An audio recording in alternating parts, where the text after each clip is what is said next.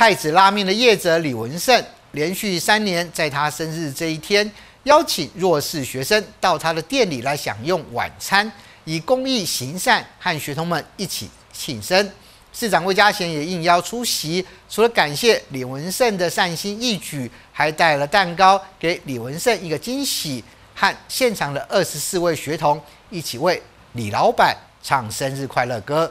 十二月七号是太子拉面老板李文胜的生日，连续三年来，他在生日这一天会邀请弱势机构学生到他店里头吃拉面。他说这是有意义的庆生方式，因为刚好是我们店的那个周年庆，对，然后就想说回馈一下社会，这样子就就过对，就是过个有有意义的生日，因为我这边的都。的料理比较适合年轻人吃，对啊，不然我也蛮想蛮想请那种什么老人之家呢，但是他们应该吃不习惯这种太重口味。嗯，对，所以我都比较找那种小朋友啊，比较年轻一点的。我妈妈那边家人都是日本人，所以我想说可以，可以，可以，就是我的咖喱跟我的拉面都是我外婆那边就是有传授，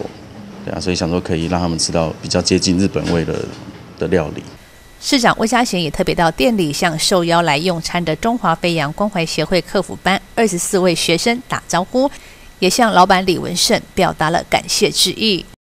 非常开心，我们太子拉面这样子来关心我们呃花莲市区需要关心的孩子们哈。那他连续三年做这样有意义的事情，招待孩子们到他的拉面店来吃拉面，那享受。我们大朋友小朋友都最喜欢吃的一个拉面。那在太子拉面在招待的同时，也邀请了相关的表演艺术，像魔术师来这边做关怀，那也表演给孩子，那让孩子有一个美好的夜晚。那在三年以来，太子拉面呃李老板哈，特别在他生日的时候来做这些有意义的事情，在此我要代表花莲市民谢谢他，也希望有更多的企业能够像他一样。继续关怀我们需要关怀的孩子们，也让更多孩子们在岁末年中感受到大家的温暖跟关心。爱心餐会还特别邀请到魔术师现场表演，为学童带来欢乐气氛。而市长也准备了一个蛋糕，和大家一起来帮李文胜庆生，让老板相当惊喜。